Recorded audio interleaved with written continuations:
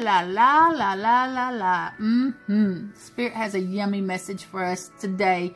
It has to do with something that we have been thirsting for and something we are hungry for showing up in our lives. Oh, I go into great detail about this particular thing and what it's going to do. And it's going to do more for you than you can possibly imagine. To hear the full uncut video, go over to wayashealingpath.com, register and subscribe to hear the full video every single day. Um, you also have access to a lot of other things I've added on. There's a lot of new stuff for this year, and I plan to try to keep adding more things as the year goes on. I am super stoked and excited about 2019, and I hope you are too. Have a great day, everyone, and remember that you have the power to create the life you've always dreamed of. You do. Get outside, touch the earth, cleanse your space, do your meditations, and remember that this Waya, the wolf, the raven, and spirit, we are sending you unconditional love.